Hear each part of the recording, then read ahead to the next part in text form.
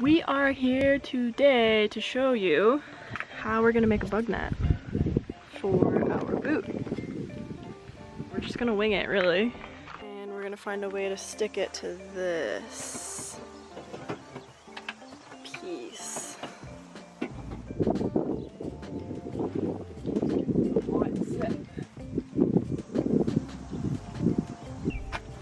So we've decided that we're gonna just put little velcro tabs on the inside here around and then down this way and then here and then stick one at the bottom.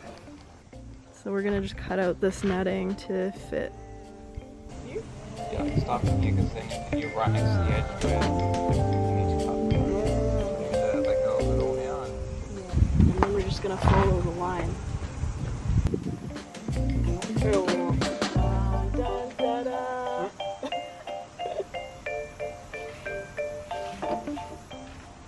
So we're trying to figure out how to place the Velcro right now. I think we're going to go three on this side. I was thinking of going either two or three, but I think three is better because we want it more airtight on this side because there's a curve.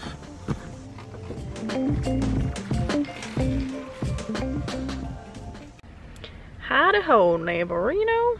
The Velcro sticks to the to the bug net, but it doesn't stick on very strongly, unfortunately. So I'm going to sew it.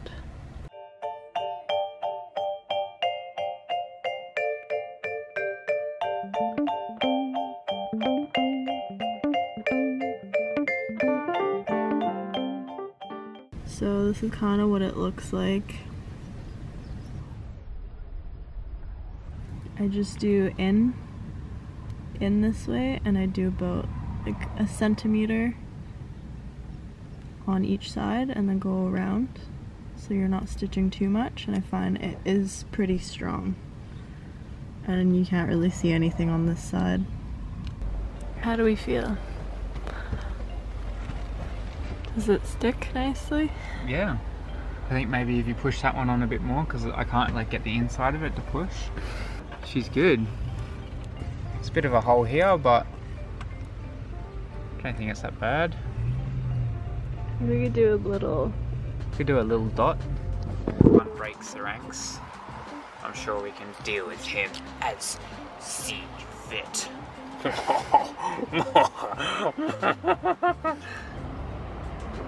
that's what it looks like. we just need to give it a trim on the inside. And then we can stick the last ones just down here. And that will be it. We've already glued the this bit so that we know how to line up this thing.